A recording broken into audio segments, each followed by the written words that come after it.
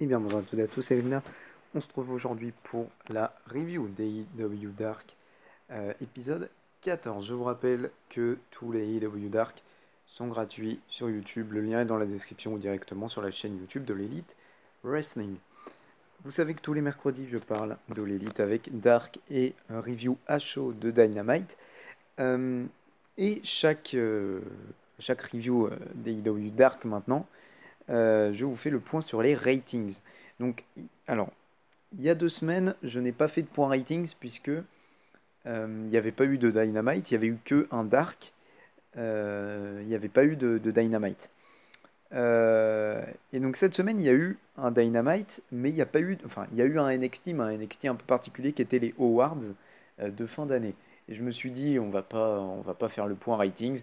Juste, All Elite Wrestling a gagné de, pas mal, mais en même temps, c'est normal puisqu'il n'y avait euh, aucun combat inédit du côté d'NXT. Là où c'est intéressant, c'est juste que Dynamite a pris une hausse énorme. C'est ça qui est intéressant, c'est qu'ils ils étaient proches du million, et ça faisait très longtemps qu'ils n'étaient pas aussi proches du million euh, Dynamite. C'est ça qui va être intéressant, voir combien ils vont perdre, et voilà, voir euh, sur, sur l'épisode de, de ce soir. Donc, donc voilà, pour, euh, pour le petit point ratings euh, un peu, un peu plus court, là j'ai pas mis le, le graphique de, de Trafalgar sur Twitter. Voilà, parce que c'est euh, pas très équilibré, forcément, puisque NXT n'avait pas de, Voilà, c'était un épisode un peu, un peu particulier, donc, donc voilà.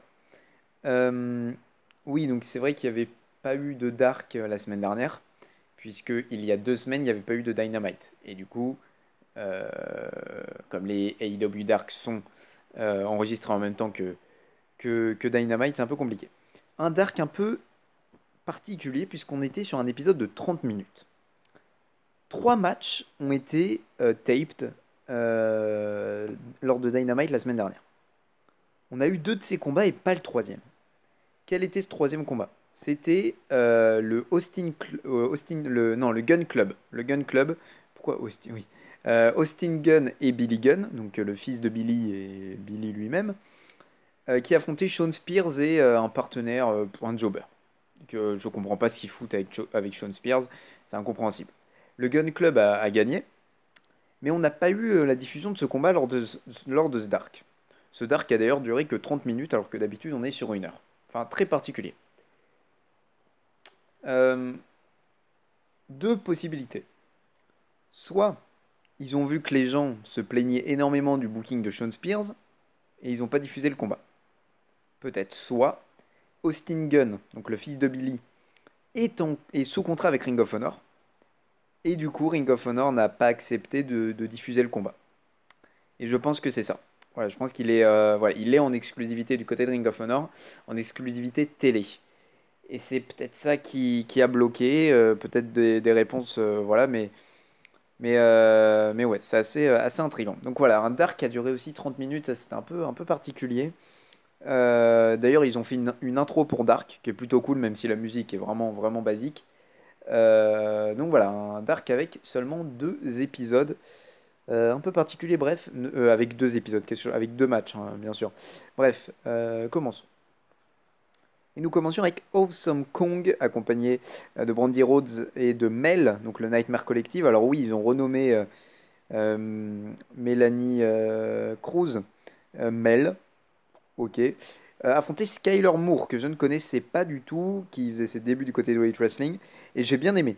Euh, je pense qu'il y a un truc à faire, il y a, je pense qu'elle a des bonnes qualités athlétiques, on en a vu très peu parce que ça va être un squash, mais je pense qu'il y a un truc avec Skyler Moore que je ne connaissais pas, j'aime beaucoup son nom, euh, j'aime beaucoup sa gueule, j'aime beaucoup son, son- le peu que j'ai vu, le peu de ce que j'ai vu d'elle. Il y a moyen de faire peut-être une association avec Sadie Gibbs, Euh, voilà, même physique, et du peu que j'ai vu de Skyler Moore sur ce combat, euh, il y a un style de catch assez similaire. Donc il y a un truc à faire, bon, même si Sadie Gibbs, bon, on sait pas trop où est, mais euh, ça, ça commence à me casser les couilles. Bref, une victoire d'Awesome Kong qui va squash Skyler Moore. RAS, not rated. Voilà, c'était un squash, ça fait plaisir de voir Awesome Kong. Bon bah on est déjà au main event avec The Hybrid 2 équipe Shaben qui faisait pour la troisième fois équipe, j'adore ce trio. Affronter SCU, euh, les champions par équipe. Euh, alors, quand je vois ces deux trios, j'adore le trio Keep Shabian Hybrid 2, je l'aime énormément. Euh, et CU qui sont excellents également. Euh, ben, J'insiste, mais les titres trio doivent arriver du côté de Weight Wrestling. Cette année, ils doivent vraiment mettre en place un titre mineur et un titre trio. C'est pour moi les deux priorités de l'Elite Wrestling.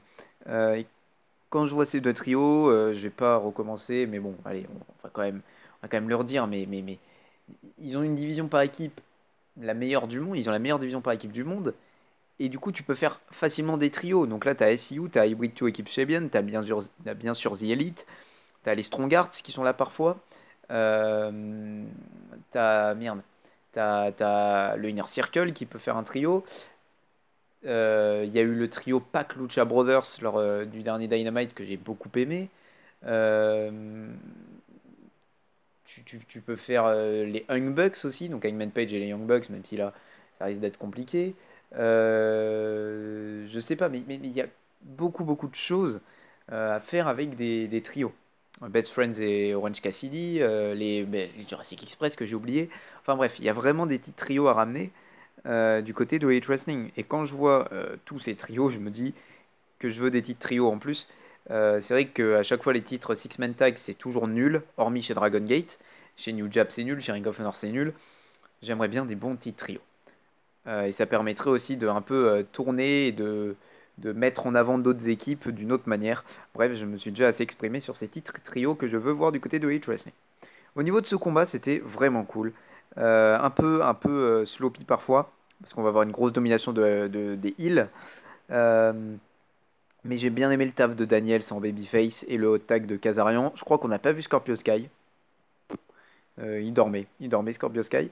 Non, c'était intéressant. 3, 3, 1 quart, allez, 3, 1 quart même. C'était vraiment cool. Une victoire des CU. J'aurais bien aimé voir euh, Kip et Hybrid, Hybrid 2 gagner parce que c'est vrai que ça fait trois fois qu'ils font euh, équipe en trio et trois, fois- qu'ils perdent.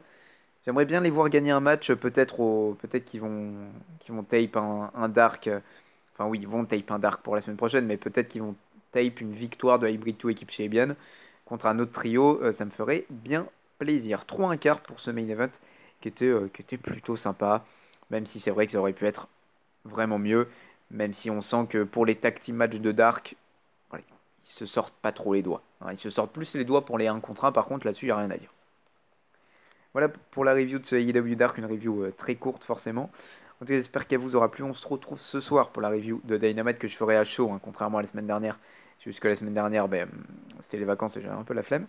Euh, Donc voilà. Bref, j'espère que cette vidéo vous aura plu. Moi, je vous dis à la prochaine. Bye tout le monde.